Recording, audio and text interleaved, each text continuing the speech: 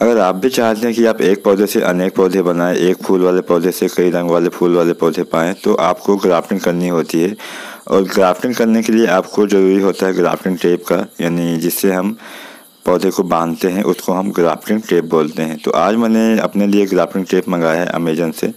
अगर आप भी इसको ख़रीदना चाहते हैं तो मैं नीचे लिंक दे दूँगा, वहाँ से आप इसको बाई कर सकते हैं।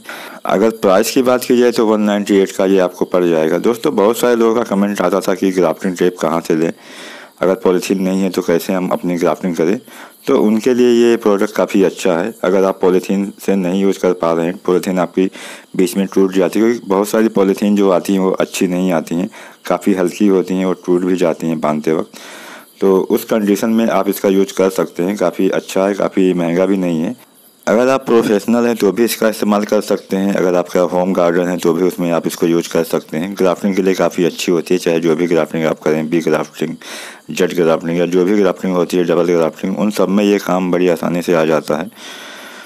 तो कुछ प्रोडक्ट का लिंक मैं और नीचे दे दूँगा, वहाँ से आप बाय कर सकते हैं। जैसे ग्राफ्टिंग के लिए आपका जो ग्राफ्टिंग कटर हो गया, या प्रोनिंग कटर हो गया उसका भी लगता है ग्राफ्टिंग में।